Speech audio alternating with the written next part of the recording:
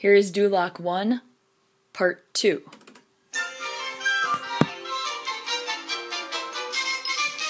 Welcome to Duloc.